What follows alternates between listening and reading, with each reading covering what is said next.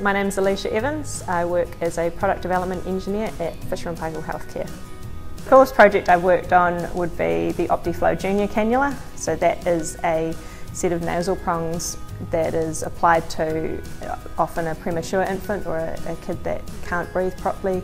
Maybe their lungs aren't fully developed, maybe they have asthma or pneumonia. And we helped to develop a cannula that was pretty revolutionary in the field in terms of its design and how it helped to treat those infants and babies.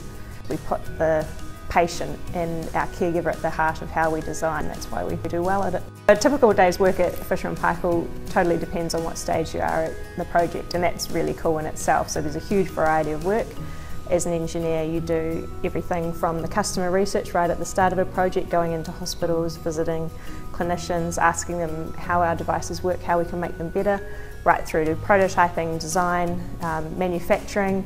We do most of our manufacturing on site here in New Zealand, so yeah, it totally depends on the phase. I originally studied mechatronics at Canterbury University. I really like the variety of work that engineering could offer, particularly mechatronics, so you're doing part mechanical, part electrical, and a little bit of software. I really enjoyed making things. I was reasonably creative as a kid and I really enjoyed problem solving. And so when I applied for a job here, I got a role as a mechanical product development engineer and that was, that was really great. So there's, there's two things I really love about working here. One's the practical side of it, trying to get into the workshop more, trying to learn how to make things like mould tools for injection moulding.